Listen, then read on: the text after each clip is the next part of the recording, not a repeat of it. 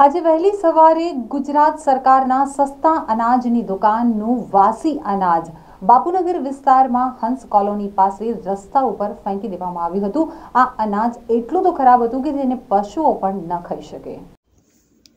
ગરીબ ભૂખ્યા લોકોને પૂરતું જમવાનું પણ નથી મળતું. બીપીએલ કાર્ડના ગરીબોને તેનો પૂરતો પુરવઠો નથી મળતો અને સરકારી અનાજ આ રીતે રોડ ઉપર કચરામાં ફેંકી લોકોના ટેક્સના રૂપિયાનો બગાડ થઈ રહ્યો છે. આ રીતે જાહેરમાં સરકારી અનાજ ફેંકવામાં આવતું હોય તો સમગ્ર ગુજરાતમાં સરકારી અનાજની શું દુર્દશા હશે? એક તરફ ગરીબો માટે સસ્તા અનાજની દુકાનમાં અનાજ ચોખા મળતા નથી, ગરીબોની ભૂખ ભાંગી શકાતી નથી. ત્યારે સરકારી અનાજની દુર્દશાની આ તસવીર ઘણું બધું કહી જાય છે.